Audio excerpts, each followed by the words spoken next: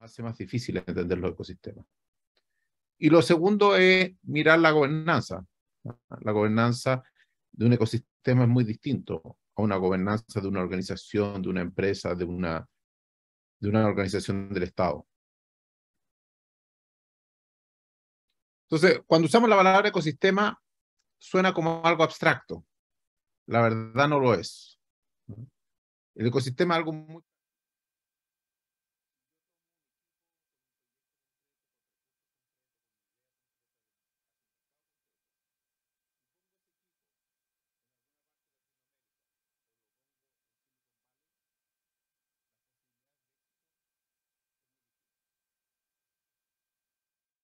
Entonces, ¿qué es lo que es el ecosistema? Es todo lo que no es el equipo, todo lo que no es el proyecto, todo, todo el resto es el ecosistema. Y claramente hoy día no es lo mismo ponerlo en la capital de nuestros países que ponerlo en una región.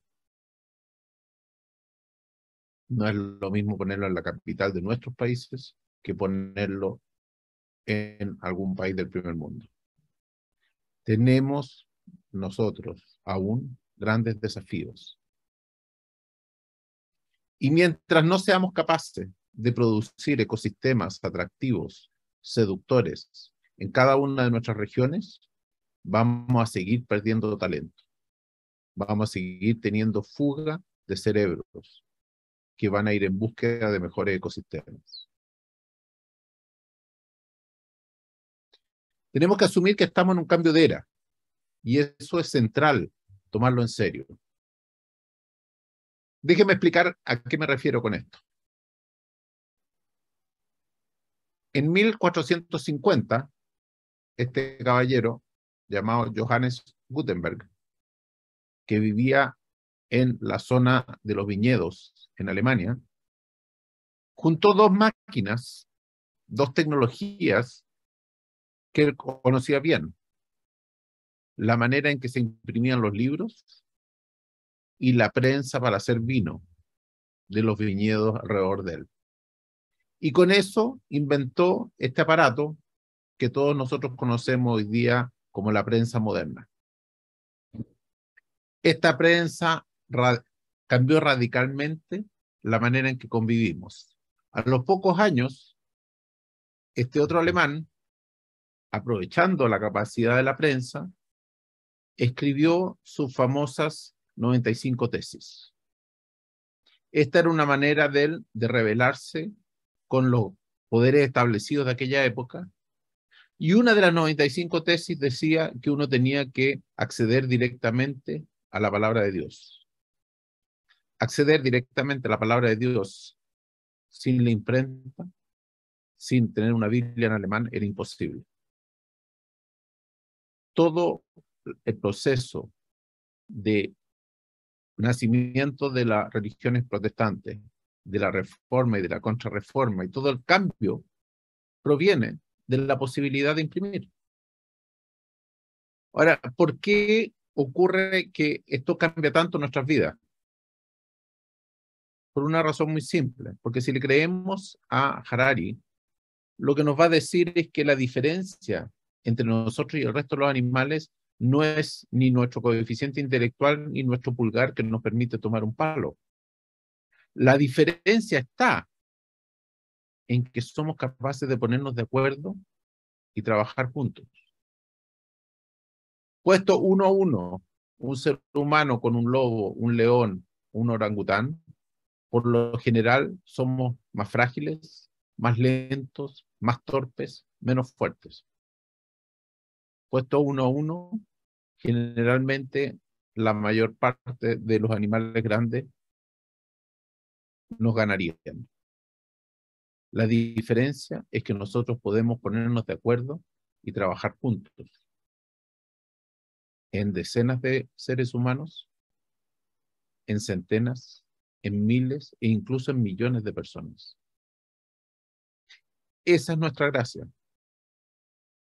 Y por lo tanto, esta capacidad de construir relatos comunes acelerada por la imprenta terminó al poco rato en el convencimiento de que necesitábamos la democracia representativa. Y esta revolución, que no solamente ocurrió en Estados Unidos y en Francia, sino que en todas partes del mundo, no era posible si no éramos capaces de construir estos diarios que estaban democratizando la conversación, que estaban haciendo que todos pudiéramos participar en la manera de pensar cuál es la sociedad que queremos.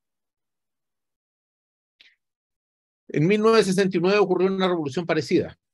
Nuevamente volvimos a sumar dos tecnologías, la computación y la telefonía. Al sumar estas dos tecnologías, logramos nuevamente cambiar la manera en que nos comunicamos.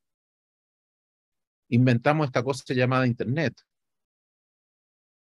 Y si nos tomamos en serio nuevamente Harari, y es verdad que el mundo lo inventamos cada vez que nosotros nos coordinamos entre nosotros, cada vez que nosotros hablamos con otro ser humano. Entonces, si miles de millones de personas pueden comunicarse entre ellas, tenemos un cambio drástico en la manera en que convivimos. Estamos hoy día en medio de una revolución de la innovación. ¿Por qué? Porque cuatro mil millones de personas hoy día pueden comunicarse entre ellas y pueden inventar el mundo que viene. Si asumimos eso, lo relevante es dónde ocurre esa innovación. Si ocurre en otro lado, estamos cultivando pobreza para nuestros pueblos. Si ocurre en nuestros lugares, hace la diferencia. Lo que tenemos que asumir es que si no hacemos florecer nuestros ecosistemas, el futuro se va a ir a otro lado. Estamos compitiendo por un pedazo del futuro. Estamos queriendo que el futuro se invente en nuestras regiones y no en otros lados. La única cosa que garantiza el futuro es la calidad de la innovación que seamos capaces de hacer en cada una de nuestras regiones. Eso es lo que hemos ido aprendiendo y hemos plasmado en este libro, que por lo que entiendo ya hemos mencionado, habiendo trabajado en 26 ciudades. Y lo que hicimos fue construir una herramienta que cada uno puede usar para hacer florecer su ecosistema. Lo que decimos es que cada ecosistema es completamente distinto. Y lo que proveemos aquí son seis estrategias que se pueden usar y en función de cuál estrategia hace florecer más rápido el ecosistema, esa es la estrategia correcta. Estas seis no son las únicas, no son las mejores, no son las perfectas, son las que nosotros hemos descubierto hasta ahora. a medida que seguimos trabajando van apareciendo más y estoy seguro que ustedes serán capaces de crear algunas mucho mejores que las que estamos proponiendo. Pero la gracia es que esto está ya disponible. Eh, ustedes lo pueden bajar gratis de internet y lo pueden usar para mirar sus regiones. Pero parte de esta estrategia tienen que ver con cómo nos organizamos para que estos ecosistemas florezcan. Y esa es la parte de la gobernanza. La gobernanza tenemos que entender que no se hace cargo de un sistema. Los sistemas en, el siglo XX aprendimos a manejarlos. Los sistemas son cuando hay muchas variables, pero están todas organizaditas. Y los pasos son claros. Primero viene el paso 1, luego el paso 2, luego el paso 3. Articular esto, gobernar esto es trivial. Pero cuando hablamos de ecosistemas, la palabra eco habla de que está vivo de que no son procesos, de que no son máquinas, son seres humanos relacionándose. Y por lo tanto, cómo gobernar los seres humanos es algo que en Latinoamérica sabemos lo difícil que es cuando miramos todos nuestros devenires políticos. La diferencia es que en el mundo del ecosistema, el emprendimiento e innovación, no es tan relevante nuestra postura política como nuestra capacidad de trabajar juntos. Lo que tenemos que entender de un ecosistema y de su gobernanza es que no tenemos cómo saber quiénes participan. Como Felipe ya ha mencionado, pueden participar muchos más de los que somos capaces de entender. Obviamente la universidad, el gobierno local, eh, las instituciones de fomento, todo eso, obvio. Pero hay tanto otro actor que podría participar. No necesariamente tenemos mapeado cómo se relacionan o cómo se podrían relacionar. Hay mucho espacio por producir. Podemos sumar a mucha gente, incluso gente que no sea de nuestra región, que puede venir a nivel nacional o incluso internacional. Y por último, en el ecosistema nadie recibe órdenes están vivos, está hecho de actores que están empujando ciertos futuros y lo que podemos hacer es más bien inspirarlos. Ahora, en Latinoamérica tenemos una capacidad infinita de pelearnos. Nos peleamos porque somos de distintos pueblos, nos peleamos porque somos de distintas religiones, nos peleamos porque somos de distintos equipos de fútbol o porque tenemos posturas políticas distintas. Lo que necesitamos si queremos realmente tener ecosistemas interesantes es ir más allá de colaborar con aquel que no es cómodo colaborar. Podemos colaborar fácilmente con aquel que piensa igual que nosotros, que trabaja en lo mismo, con el cual estamos acostumbrados, con el cual tenemos confianza. Colaborar con ellos es trivial. El desafío es ir más allá es colaborar con aquellos y aquellas que no nos quedan cómodos, que no necesariamente sabemos cómo colaborar, que no necesariamente estamos de acuerdo, incluso con aquellos que estamos en profundo desacuerdo. Y a eso nosotros le llamamos colaboración extrema. Igual que todo deporte extremo, es más peligroso, pero mucho más interesante. Si somos capaces de jugar, de danzar, con todos los actores de una región, lo que podemos hacer en el ecosistema de emprendimiento e innovación es mil veces más grande. Ahora, tenemos que asumir que la colaboración extrema implica algo distinto a lo que estamos acostumbrados. Estamos acostumbrados que para poder colaborar, todos y todas tenemos que estar de acuerdo en todo, todo el tiempo. Y esto lo sabemos bien, es casi imposible. Tenemos mil maneras de discrepar. Y por lo tanto, esta manera de mirar la colaboración no sirve, porque no nos permite colaborar. Necesitamos pasar a otra manera de mirarlo, en que basta con que algunos de nosotros estemos de acuerdo en algunas cosas durante algún rato.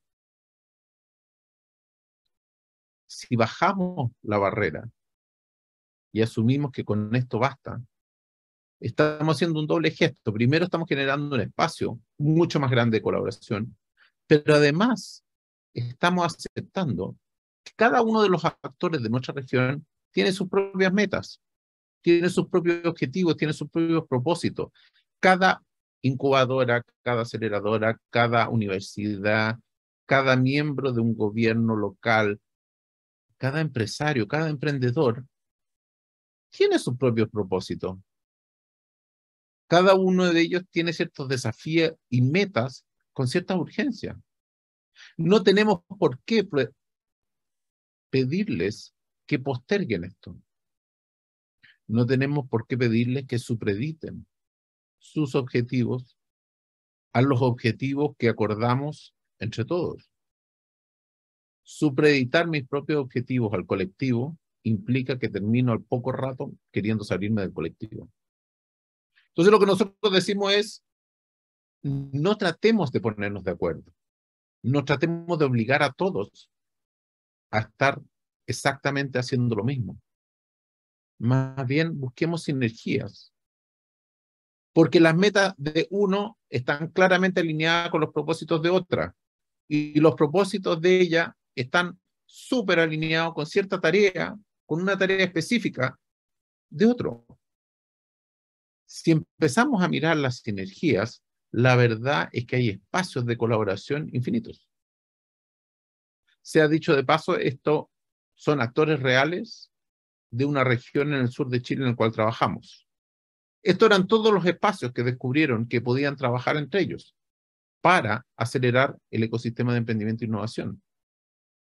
En sus propios proyectos, en sus propias iniciativas, habían espacios en que los otros actores podían ayudarlos mucho. Si efectivamente yo voy a una reunión permanente una vez al mes y todas las veces tengo que abandonar mis propósitos para avanzar una agenda común, después de un rato no quiero ir a esa reunión. Pero si en esa reunión lo que veo es que todas las veces aparecen nuevos espacios de ayuda que me permiten fortalecer lo que yo estoy haciendo, obviamente que quiero ir a esa reunión mensual.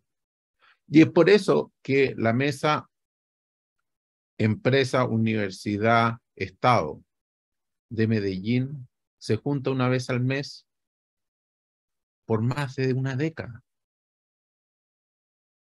Lo hacen religiosamente porque saben que hay un espacio que va a fortalecer lo que cada uno está haciendo. Ahora, en nuestra experiencia, no hay una manera correcta de armar la gobernanza. La gobernanza tiene en cada región, en cada ciudad, distintos actores. Lo interesante, a juicio nuestro, es diferenciar aquellos que se están jugando la vida por el ecosistema y aquellos que le pueden abrir las puertas al ecosistema. Todas las autoridades, todos quienes tienen infinito poder, pero que el ecosistema de emprendimiento e innovación no es necesariamente su foco central en la vida, tienen que estar en algo que nosotros llamamos el equipo promotor. Es decir, son gente que le importa, que están dispuestos cada cierto rato a ir a una reunión, que están dispuestos a ayudar, a conectar, a abrir puertas, a facilitar. Pero hay otro grupo que son quienes se desviven por el ecosistema, quienes están todos los días dedicados full time a esto. Y Puede ser que haya gente que participe de ambos equipos. No tengo problema. Pero si yo le exijo al alcalde que esté todo el día preocupado solo del ecosistema de emprendimiento e innovación, al poco rato se va a salir. Y por otro lado, si yo le exijo al emprendedor que se preocupe de la innovación solamente una vez al año o una vez al mes, va a pensar que esto no funciona.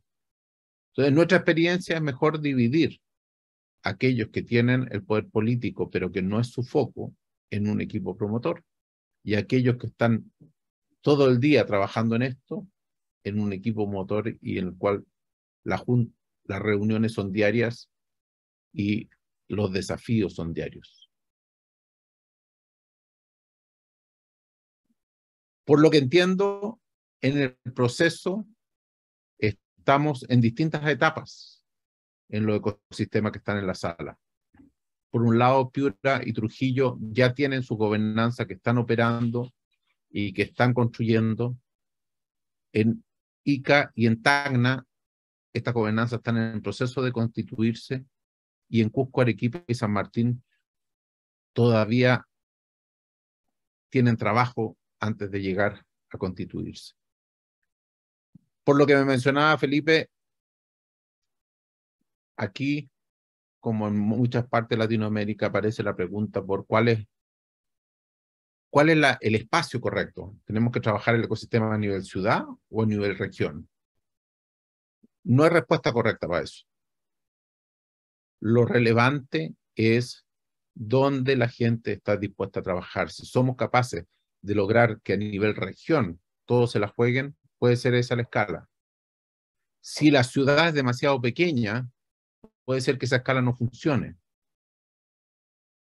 Hay que mirar, cada caso es distinto.